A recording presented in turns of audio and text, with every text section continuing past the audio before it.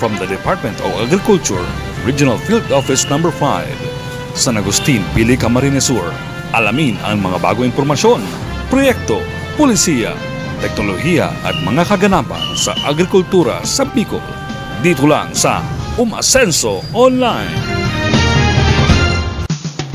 Magandang araw mga ka-umasenso. Kasalukuyan pong nagaganap ngayong araw ang Barangay at SK Election 2023. Sana ay piliin nyo ang mga karapat-dapat na maging leader na makakatulong sa ating pag-asenso. Vote wisely! Sama-sama nating alamin ang pinakabagong mga balita at impormasyong magsisilbing gabay ninyo tungo sa masaganang agrikultura at maunlad na ekonomiya. Tumutok lamang po kayo dito lang sa Umasenso Online Season 2. Sa ngalan ni Anilin Balesa, ako po si Jam Soto mula sa Regional Agriculture and Fisheries Information Section. Hello po sa aming mga live viewers worldwide. Napapanood po tayo ngayon ng live sa aming official Facebook page at YouTube channel Department of Agriculture Bicol at Facebook account Agriculture Bicol. Napapakinggan din po tayo sa broadcast center ng Camarines Sur Polytechnic Colleges 87.5 FM DZCC at FMR University FM 94.3.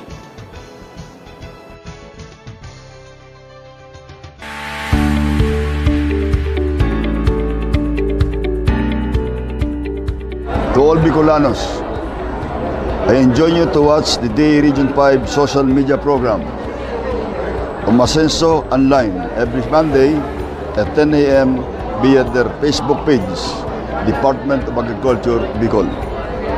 Be updated on the program, new policies and technologies in agriculture.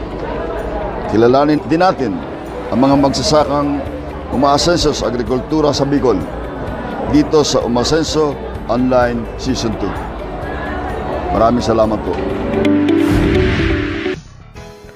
Sa ating minamahal na mga magsasaka at mangingisda, sa mga provincial at municipal local government units, provincial agriculturist, city and municipal agriculturist, agricultural extension workers, sa mga katuwang natin sa pribadong sektor, business sector, other key industry players from the different levels of the value chain, civil societies, state universities and colleges, and other government agencies. At sa ating Agricultural and Fishery Council sa regional, provincial at maging sa city at municipal levels. Maraming salamat po sa patuloy ninyong pagsuporta sa ating mga programa dito sa kagawaran ng pagsasaka upang mas mapaangat natin ang kabuhayan ng mga magsasaka at mangingisda at ang buong sektor ng agrikultura sa rehiyong Bicol. Ngayong taong 2023, samahan niyo pong muli kami sa pagpapatupad ng mas pinalaki at pinalawak na mga proyekto upang ating makamit ang masaganang agrikultura tungo sa maunlad na ekonomiya at pagsisiguro na may pagkain sa hapagkainan ng bawat pamilyang Bicolano. Maraming salamat po. Maging handa, may El Nino man o wala. Magtanom ng short gestation o short cycle crops arog kanunggo, mani, asin soybean. Ibuwan ang crop rotation method para makalikay sa mga peste.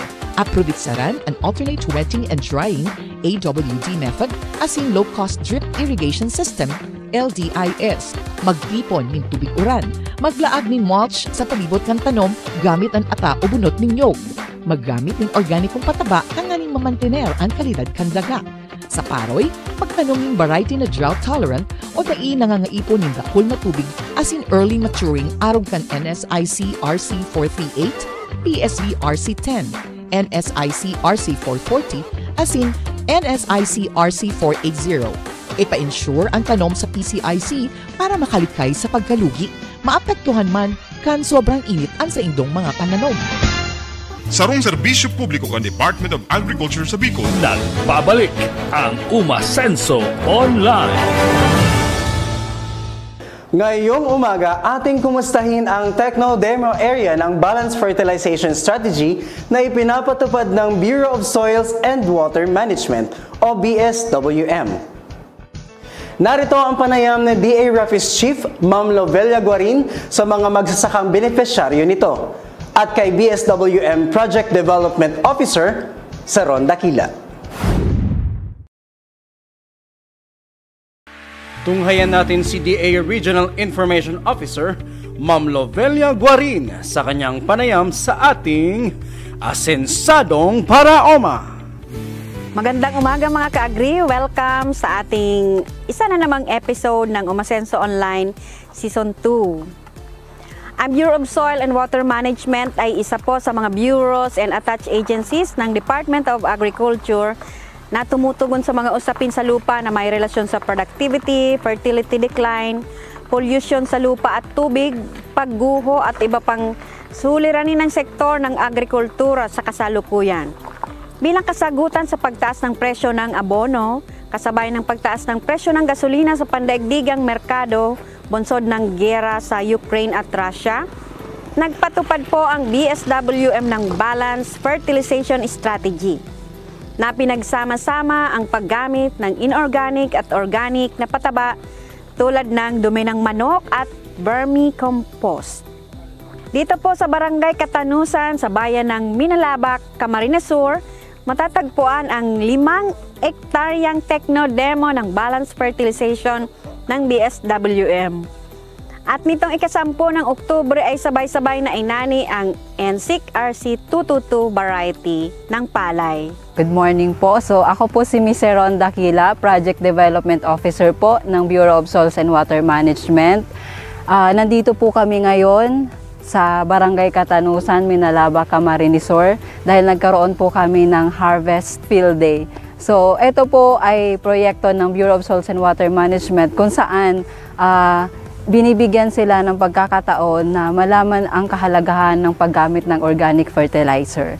So ito po yung programa na ngayon po na-realize sa mahabang panahon na po na ginagawa po namin dito sa Suiza. So, nandito po sa Barangay Katanusan ay napakaswerte po nila dahil sa buong Bicol region po, dalawa lang po, actually isa lang po pala sila na nabigyan ng pagkakataon na magkaroon po ng ganitong klaseng uh, technology demonstration for 5 hectares. So dito po ay may dalawang cooperators po, si Sir Bernard Bondalian po at si Tatay Roberto. So mayroon po tayong 5 hectares techno demonstration. Yung 3 hectares po ay nandoon po kay Sir Roberto at yung 2 hectares naman po ay kay Mr. Bondalian. Uh, ang variety po na ginamit po ng uh, 5 hectares techno demo po ay RC222. So nagsimula kami ng June, tapos ngayon po napakaswerte po at uh, naka-harvest din po, successfully po naka-harvest po kami. So ang expectation po namin ay magkaroon po sila ng 5 to 6 tons po ang harvest po nila sa 5 hectares.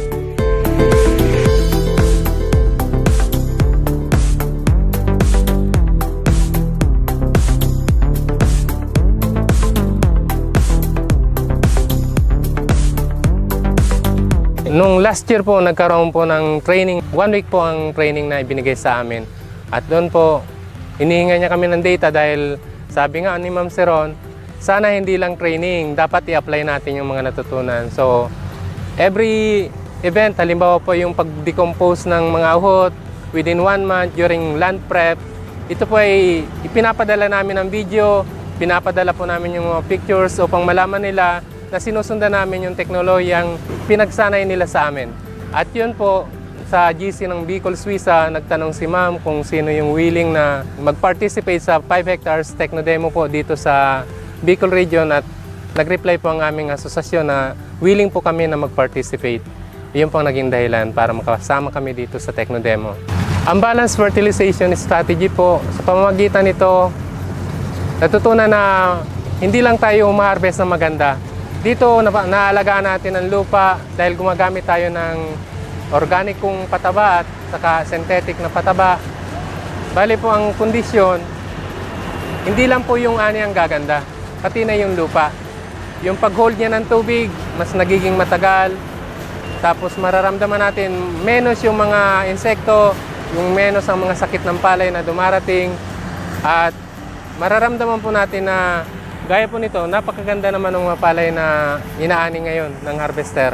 Sa pamamagitan nitong tinatawag na balanced fertilization na gumagamit tayo ng organikong pataba, nababalansi po yung paggamit ng ating lupa. Hindi lang tayo after nung harvest, kundi after din tayo sa sustainability ng ating lupa na patuloy na maging malusog siya even nakaka-harvest tayo na maganda. Ang BSWM po ay nagbigay sa kanila ng agri-inputs. So marami din po na kumbaga masisave yung kanilang association at it- ito ay magiging savings po nila.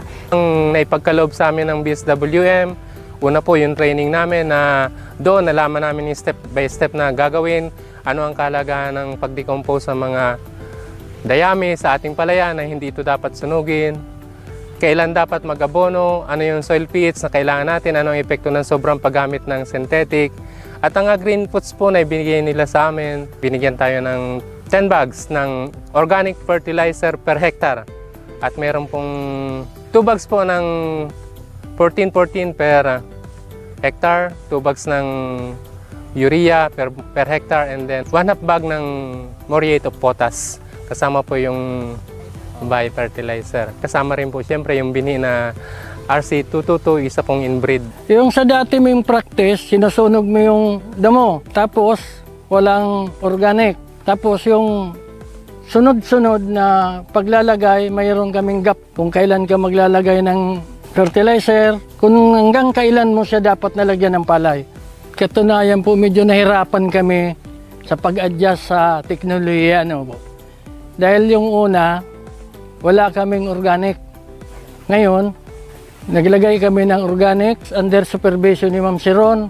Napakaganda po na epekto niya kasi ma magandang traktorin ang lupa, tapos yung pag-hold niya ng tubig, matagal siya. And then, sa unang rangkada po ng bini, pag in-apply ng bini, mararamdaman, very healthy po yung palay. Green na green talaga ang dating po niya. Dahil sa 2 weeks po ng pag-decompose ng lupa, nag-apply tayo ng oh, organic fertilizer. At doon, after 2 weeks, doon tayo naglalagay ng binhi, doon tayo nagtatanim. So, nai-ready po ang kondisyon ng lupa sa pagtatanim. Dito po, nagkaroon kami ng malinaw na pananaw ng pruweba. Dahil nung ina-apply ko yung pinagsanayan namin, wala naman akong organic fertilizer. Pero nag-decrease na ang harvest ko noon. Dahil unang-una galing sa 15 bags ng synthetic fertilizer, bumaba ako hanggang 4. So yung dating 150 ko, naging 120, 110. Tapos ngayon, dito sa combo 5, ah, combo 2, ina-expect namin 5 to 6 tons per hectare ang harvest. At sa, sa observation ko po, sa tubo ng mga palay, sa litaw ng mga bunga, hindi malayong ma-achieve po yung goal namin na 5 to 6 tons per hectare. Ito na ang pinakamaganda't na balansin natin yung gastos sa yung kita ng mga maliit na magsasaka. Ang natipid namin, halos 30%. Tapos tumubo kami ng, sabihin natin 30%. Gumanda pa yung ani namin. So ito po, hindi lang po para ngayon. Para sa akin, lifetime na po ito magiging sistema dahil yung pag-maintain po ng lupa, nasa sekreto po ng balanced fertilization.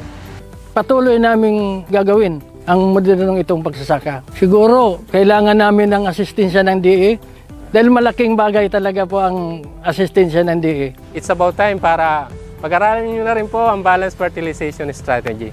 Para malagaan natin, hindi lang yung ating harvest, kundi yung pong ating lupa. Sana sa lahat na katulad ko na mga magsasaka, tangkilikin natin itong balanced fertilization strategy. At kami naman pong nauna, willing kami magturo o mag-guide sa inyo kung anong dapat na gagawin. Labis pang pasalamat ko dahil ipinagkalob ito ng ating Bureau of Soil and Water Management sa pa- pamumuno po ni Ma'am Gina Nilo, ang director po, at siyempre po, ang kagapay rin ang regional director, si Sir Del Tornilla po ng Department of Agriculture. Pasasalamat din po para sa ating municipal agriculturist na si Sir Mark Francis Ibo at ang LGU, kasama yung mga staff nila at sa lahat po ng mga kasama namin sa asosyon. Muli po, pasasalamat po dahil lang po sa teknolohiyang Balanced Fertilization Strategy ng Bureau of Soil and Water Management po. Salamat po. Kami taos puso nagpapasalamat at sana hindi kayo magsawang tumulong sa mga maliliit na magsasaka. So sa pangalan ng aming director, si Ma'am Gina Nilo po at ang aming chief po sa Water Resources Management Division, si Sir Ernie Brampio, ay nagpapasalamat din po kami sa suporta po ng Department of Agriculture sa pamumuno ng aming mahal na director, si Sir Rodel Tornilla po, and sa aming pong uh, very supportive din po sa RAID, ang aming chief, si Sir Jerry Ibonya po. So ito po ay malaking bagay po dahil ito yung ma-embrace ng ating mga Swisa ang paggamit ng organic fertilizer. Dahil po sila ay nakapag-conduct po ng balanced fertilization strategy po nung nakaraang taon. So ngayon po ay isa po sila sa napili para makapag-conduct po ng ganitong klaseng techno demonstration. Sa muli po, maraming salamat at sa magandang panahon din po na binigay ng ating poong may kapal. Salamat po. Tunay nga pong sa balanced fertilization strategy, makakatipid kayo sa abono at sa gastos. Subalit nananatili pa rin mataas ang ani ng ating mga ka-agri. Kaya tara na po, ating subukan ang balanced fertilization strategy. Uy, si Miss Bea! Mga ka-farmer, mga ka-fisher, kada sampun taon ay nagsasagawa ng Census of Agriculture and Fisheries ang PSA. Para saan ba yan, Miss Bea? Kailangan pa ba kami dyan? Oo naman! Responsibilidad natin na lumahok sa census upang masiguro na lahat ay maging bahagi para sa pagtugon sa mga hamon sa sektor ng agrikultura at pangisdaan. Kaya bawat boses, mahalaga. Simula Setyembre 2023, ang mga enumerators ng PSA ay mag-iikot sa mga kabahayan at barangay hall upang mangalap ng impormasyon ukol sa mga nasabing sektor. Huwag mag-alala, ang lahat na impormasyon na ibabahagi sa CAF ay mananatiling confidential. Bea Alonzo po, sumusuporta sa CAF. Kaya't mga ka-farmer at ka-fisher, ating suportahan ang census ng bayan. Ka-farmer, ka-fisher, tayo ang bida!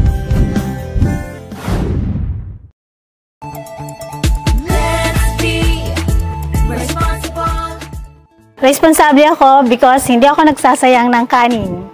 Responsible ako because I know the hardship of our farmers. Responsible ako because rice makes our lives nice. Responsable ako because kumukuha lang ako ng kanin na kaya kong ubusin. Responsible ako because bigas ng Pinas ang binibili ko. Responsible ako because I love rice. Responsible ako because bawat butil ng bigas ay mahalaga. Responsible ako because I know the hardship of our farmers. Responsable ako because my parents work hard for my food. Responsible ako because mahal ang bigas. Responsible ako because lihitimo akong magsasaka since birth at ito ang naman ako sa aking mga magulang. Responsable ako because pinapalagaan ko ang pera ng aking mga magulang. Responsible ako because wasting rice is like wasting life. Responsable ako because I know the hardship of our farmers. Responsable ako because I know how it feels to have nothing. Responsable ako because, because mahal ko ang magsasaka. Let's be responsible.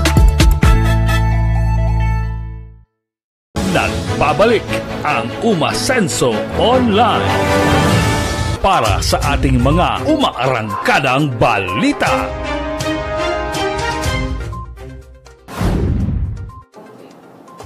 Narito ang mga balitang nakalap sa iba't ibang panig ng rehiyon.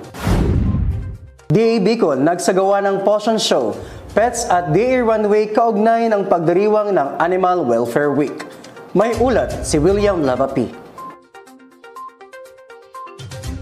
Sa paggunita ng Animal Welfare Week, inorganisa ng DA Regulatory Division ang pinakaunang Potion Show, Pets at DA Runway noong ikadalawampu ng Oktubre ngayong taon sa DA Covered Court. Tinalakay ni Rosita M. Imperial, Chief ng Regulatory Division, ang RA 8485 na kilala rin bilang the Animal Welfare Act of 1998 na nagtataguyod sa kagalingan ng mga alagang hayop sa Pilipinas. Layunin rin ng aktibidad na may temang Educate, Engage, and Transform ang magbigay ng kaalaman sa mga tao sa tamang paraan ng pangangalaga sa kanilang mga aso at pusa si Dr. Edgar R. Madrid, Regional Technical Director for Research and Regulations, ay nagpasalamat sa 9th Infantry Division sa kanilang patuloy na pakikipagtulungan, hindi lamang sa ganitong uri ng aktibidad, kundi pati na rin sa food security program ng pamahalaan. Kasama rin sa kaganapan ang Basic Obedience Lecture mula sa 9th Infantry Division kung saan ipinakita nila ang mga pangunahing obedience technique na itinturo nila sa mga aso tulad ng paghahanap sa pampasabog, pagtukoy ng mga pinagbabawal na droga at operasyon sa search and rescue. Ipinalabas din nila ang mga limang pangunahing utos, kill, sit, down, stay, and come. Ipinamalas ito ng tatlong Jack Russell Terrier breed at dalawang Belgian Malinois. Ang fashion show ang pangunahing bahagi ng kaganapan. Si Diana, isang American bully ni Christine Madrona, ang tinanghal na kampyon at nakatanggap din ng mga parangal para sa pagiging maagang nagparehistro, best dressed, at best owner pet lookalike. Si Ferrari, isang Siberian Husky ni Maria Cyril Nicolas, ang first runner-up na nakatanggap din ng isang espesyal na parangal para sa People's Choice Award. At si Cola, poodle ni April Temporal, ang second runner-up. Ang mga nanalo ay nakatanggap ng dog food, treats, vitamins at cages may kasama ding free check-up at grooming services sa mga partner veterinary clinics. Lahat ng labing limang kalahok ay makakatanggap ng isang bag ng mga premyo mula sa top breed Nutribon, Yum Yum at Nutri-Chunks. Ang mga hurado ay si Bernadette De Los Santos, RAFC 5 Chairperson, Lovelia Piguarin, Chief Rafis and Regional Information Officer, at Dr. Rona P. Bernales, Chief of RADDL. Tinalakay din ang limang pangunahing karapatan ng mga hayop tulad ng freedom for hunger and thirst, discomfort, pain, injury and distress, and freedom to express normal behaviors. Ibinahagi ni Maria Rachel Jane C. Corneo mga ding Doctor of Veterinary Medicine, College Dean ng CBSUA College of Veterinary Medicine ang kanyang pasasalamat sa kagawaran ng pagsasaka sa mga lumahok at sa lahat na bumubuo ng kauna-unahang Potion Show Pets at DA Runway. Bukod sa mga taong bumuo ng kaganapang ito, naging malaking papel din ang ginampanan ng mga sponsors para maging matanggumpay ang pinakaunang Potion Show, Pets at DA Runway na sina Doc Zorina Andal ng Pet Villa Animal Clinic, Dr. Princess and Dr. Vian Alvina ng Oragon Pet Clinic, Doc May Christine, Doctor of Veterinary Medicine ng BPL Veterinary Clinic, Doc Maan Silerio ng Pet Point Animal Clinic, San Felipe, Doc Willie ng Co-Veterinary Clinic, Doc Louis Tias S. Camilas ng Doc Louis Veterinary Clinic at Doc Marie Villavicencio Relieta ng Barks and Cuddles Pet Clinic. Laging tandaan ang kahalagaan ng pagsunod sa mga pamantayan ng kagalingan ng hayop. Ang pagtiyak sa kanilang kaginawaan, kalusugan, at kaligtasan ay hindi lamang tungkulin kundi patunay ng ating pagkamapaggawang gawa at pagkamagandang loob sa pamamagitan ng tamang pangangalaga, pagbibigay ng maayos na tirahan at pagtataguyod ng kanilang mga karapatan maaari nating malikha ang isang mundo kung saan ang mga hayop ay may dignidad, kabaitan at malaking pakinabang sa mga tao. Ito si William Labapi nag-uulat para sa Umarangkadang Balita. Potensyal ng kawayan sa rehiyon, tinalakay sa naganap na Bicol Cooperative Congress 2023. Narito si Emil Pasumbal para sa detalye. Potensyal ng kawayan sa rehiyon, tinalakay sa Bicol Cooperative Congress 2023. Humigit kumulang sa 800 opisyal at miyembro ng mga aktibong kooperatiba sa Bicol ang dumalo sa naganap na Bicol Cooperative Congress 2023 na may temang Charting New and Sustainable Opportunities for the Bicol Region. Nitong ikadalawampu hanggang ikadalawamput isa ng Oktubre sa lungsod ng Naga. Panauhing pandangal sa nasabing okasyon si dating Department of Agriculture Secretary Luisito Lorenzo. Si DA Bicol Regional Executive Director Rodel P. Tornilla naman ay kinatawa ni Dr. Mary Grace D.P. Rodriguez, Chief ng Field Operations Division at High Value Crops Development Program o HVCDP Coordinator ng DA Bicol. As we celebrate October as National Cooperative Month, let us acknowledge and thank all the cooperatives here in Bicol for your efforts and contribution of agriculture sector, poverty reduction and empowerment of your respective members through various assistance and socio-economic benefits. One of the strategies of DA, narinig niyo po to kung kayo nakinig ng SONA noong July ng ating presidente, the Farm and Fisheries Clustering and Consolidation. Ang principle po nito ay kahalintulad din ng mga cooperative tradition gives our farmers identity as it ushers one mind, one heart, and one aspiration. Consolidation or cooperativism unifies individual aspirations into greater goals. Uh, this is a strategy we offer now to our farmers and fishers to enhance their decision leverage, which includes their bargaining power and command of higher price for their produce as well as increasing production without necessarily increasing production cost. Meron din po kaming nakakluster ng mga cooperatives, mas nagiging malakas po yung bargaining power nila to avail higher prices. The Bicol HBCDP, yung aming pong High Value Crops Development Program, which I handle, um, we focus already on bamboo industry. Po yung bamboo sa through uh, an executive order last 2020. So on the realization that a source of income for farmers and entrepreneurs through the showcase of bamboo technologies and creation of a venue for agri-learning and development. The bamboo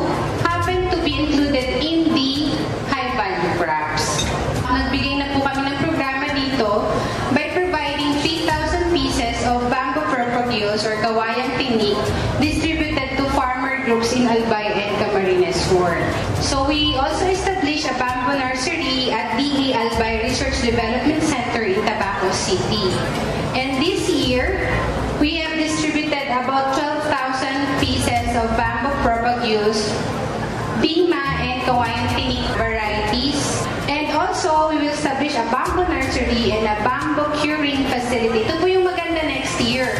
Maglalagay kami ng nursery or primary facility in Bula, Camarines Sur. So this is a 6.5 million worth of project that is first in Bicol. Ayon kay Dr. Rodriguez, taong 2020 nang maisama ang kawayan bilang isa sa mga high-value crops. Ang DAHVCDP ay namahagi ng planting materials, nagpatayo ng bamboo nursery sa Albay Research Development Center sa Tabaco City at nagsagawa ng mga trainings on bamboo production. Masaya niya ring ibinalita na sa taong 2024, ang ahensya ay magpapatayo ng bamboo nursery at curing facility sa bayan ng Bula, Camarines Sur. Yun po yung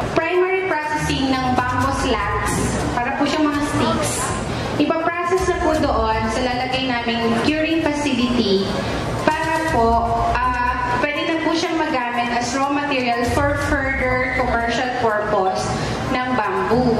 Dagdag pa niya ang produksyon ng kawayan ay isang potensyal na mapagkukunan ng karagdagang kita para sa mga magsasaka. Isa sa mga kooperatibang nakilahok ay ang Multi-Agri Forest Community Development Cooperative na kinabibilangan ng mga empleyado ng DA Bicol. Ang Bicol Cooperative Congress 2023 ay bahagi ng pagdiriwang ng Cooperative Month tuwing Oktubre. Ito po si Min Pasumbal nag-uulat para sa Umarangkadang Balita. Food Safety Awareness Week ipinagdiwang. Narito si Mitch Alfigura para sa detalye. Ipinagdiriwang ng Department of Agriculture ang ika-23 hanggang ika-27 ng Oktubre bilang Food Safety Awareness Week. Ayon sa World Health Organization, mahigit sa dalawang daang sakit kabilang na ang pagtatae at cancer ay sanhi ng pagkakain ng mga pagkain kontaminado ng bakterya, virus, parasites o chemical substances. Ang kontaminasyon ng pagkain ay maaaring mangyari mula sa produksyon hanggang sa pagkonsumo nito. Maaari itong magresulta sa maraming uri ng kontaminasyon sa kapaligiran, kabilang na ang pagdadala ng polusyon sa tubig, lupa o hangin. Gayon din ang hindi ligtas na pag-iimbak at pagproseso ng pagkain. Bilang mandato ng ahensya na ipatupad ang Food Safety Act of 2013, mas pinaigting ng Department of Agriculture Bicol ang interagency composition ng Regional Food Safety Focal Group o RFSFG sa pamamagitan ng consultative meeting na ginanap noong ikasampu ng Oktubre taong kasalukuyan sa Central Bicol Experiment Station sa DA Compound. Ito ay dinaluhan ng mga pinuno at kinatawan ng regulatory agencies sa ilalim ng DA Bicol ang National Meat Inspection Service o NMIS, Agricultural Training Institute ATI RTC 5, Bureau of Fisheries and Aquatic Resources o BFAR, Fertilizer and Pesticide Authority o FPA, National Food Authority o NFA, Philippine Coconut Authority o PCA, Sugar Regulatory Administration o SRA at Bureau of Plant Industry o BPI. Ayon kay Regional Technical Director for Research and Regulations, Dr. Edgar Madrid, layunin ng pagpupulong na magbahagi ng kaalaman at ilarawan ang papel ng bawat kinauukulang ahensya sa pagpapatupad ng Food Safety Act. Dagdag pa niya, matagal nang ginagawa ng mga nasabing ahensya ang food safety measures. Tinalakay naman ni Rosita Imperial, hepe ng Regulatory Division, ang RA 10611 o Act to Strengthen the Food Safety Regulatory System in the country to protect consumer health and facilitate market access of local foods and food products, otherwise known as Food Safety Act of 2013, na magkatuwang na ipinapatupad ng DA at Department of Health. Ayon kay Imperial, ang kaligtasan sa pagkain ay nagsisimula sa sakahan. Kaya naman napakalaki ng papel ng DA upang matiyak na ang mga sariwang pagkain na ginagawa natin sa mga sakahan ay hindi magdudulot ng pinsala sa mga mamimili nito. Dagdag pa niya, maraming hamon sa produksyon ng pagkain, kabilang na ang antimicrobial resistance para sa mga tao at hayop at mga panganib tulad ng harmful residues at contaminations.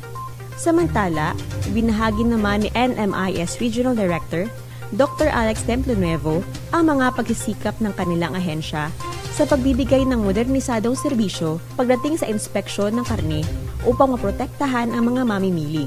Kasabay nito ang pagpapaunlad ng sektor ng livestock at poultry nang matiyak ang sapat na supply ng karne. Kaakibat sa mandato na masiguro ang sapat na pagkain, sinisikap rin ng DA na tiyakin ang kaligtasan sa pagkain. Kaya ang Integrated Laboratories Division o ILD ay nagsasagawa ng mga pagsusuri ng lupa, tubig, sakit ng hayop at pesticide residues sa prutas at gulay. Tinutulungan naman ng Regulatory Division ang mga sakahan na sumunod sa good agricultural practices at good animal husbandry practices upang isulong ang ligtas at masustansyang pagkain pati na rin ang mga non-food agri-products habang isinasaalang-alang ang kaligtasan ng mga manggagawa at kapaligiran. Dumalo rin sa nasabing pagpupulong si Lorenzo Alvina, hepe ng ILD at ang mga Agricultural Program Coordinating Officers ng anim na probinsya ng Bicol. Ito po si Mitch Alfigora para sa Umaarangkadang Balita. At yan po ang ating mga umaarangkadang balita. Lalakas at sisigla, putis mo ay gaganda. Makakatipid ka pa. Kumain ng gulay, katawan ay gaganda. Kumain ng gulay, katawan ay gaganda. Kumain ng gulay at ikaw ay sisigla Magtanim ng gulay ng laging sagana Magtanim ng gulay dahil buhay mo ay mahalaga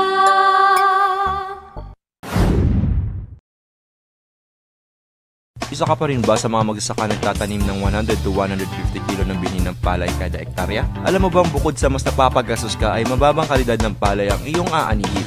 Kundi ng 40 kg na dami ng high quality inbred o certified seeds na rekomendado ng DA sa bawat ektarya. Makakatipid ka na, makakasiguro ka pang 85% nito ay tutubo o higit pa. Maaari ito sa dalawang paraan ng pagtatanim, transplanting o kaya direct seeding. Para sa inyong mga katanungan, makipugnayan sa DA Bicol, kaya bisitahin ang DA Regional Field Office sa San Agustin Pili, Camarines Sur. Nagbabalik ang Umasenso Online. Bantay Presyo Narito na ang mga bagong presyohan sa merkado ngayong araw ng Webes, ika-26 ng Oktubre ngayong taon. Sa Naga City Public Market, ang well-milled rice ay 45 pesos, pork kiempo 290 pesos, tilapia 160 pesos, galunggong 200 pesos, whole chicken 200 pesos, egg medium size 8 pesos per piece, ampalaya 80 pesos, tomato 100 pesos, cabbage 160 pesos, petchay bagyo 120 pesos at red onion lokal 180 pesos. Sa Legazpi City Public Market naman, ang well-milled rice ay 46 pesos, pork kiempo 270 pesos, tilapia 160 pesos, galunggong 220 pesos, whole chicken 195 pesos, egg medium size 8 pesos and 50 cents per piece.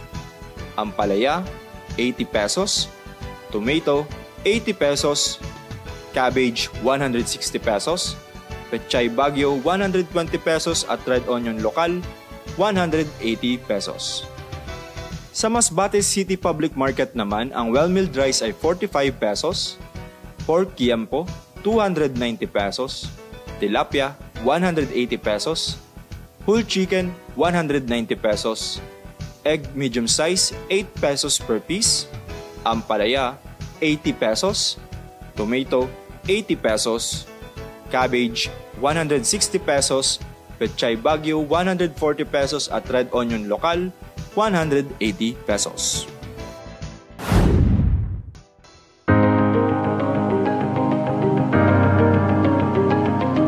Kapantay ng pagnanais ng pamahalaan na pagyamanin ang sektor na bumubuhay sa pambansang ekonomiya. Patuloy na nagsusumikap ang ating mga magsasaka at mangingisda upang kamtin ang kasaganahan para sa lahat. Marami mang balakid, patuloy silang kumikilos tungo sa Pilipinas na may masaganang agrikultura at maunlad na ekonomiya. Mabuhay ang mga food heroes ng bansa! Ikinararangal kayo ng lahing Pilipino.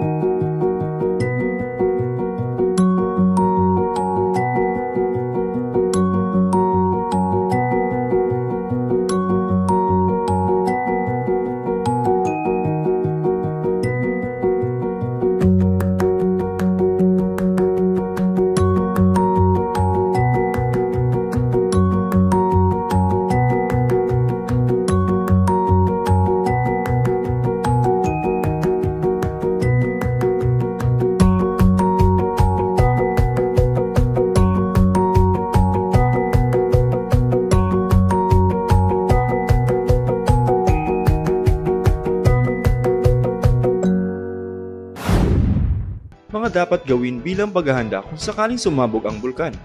Maganda ng mga supply kit tulad ng flashlight, whistle, tubig, sapat na pagkain, face mask, blankets, sturdy shoes, damit o jacket, power bank, radyo at ekstrang baterya, pera, tools tulad ng wrench, pliers and screwdriver, can opener, maps, cellphone and charger, duct tape, and waterproof containers. Makipag-ugnayan sa municipal agriculturist hinggil sa posibleng kakailanganin sa mga taniman. Magpasigurong magparehistro sa Philippine Crops Insurance Corporation sa mga bago pa lamang na tanim.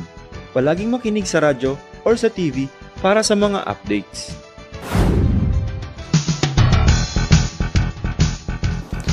At dyan po nagtatapos ang aming Season 2 38 episode Mga Kaumasenso.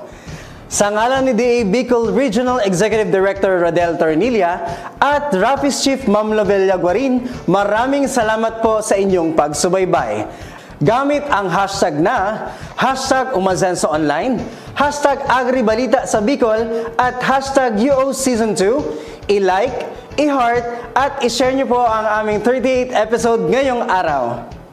Samahan niyo po kaming muli sa susunod na lunes dito lang sa Umasenso Online Season 2.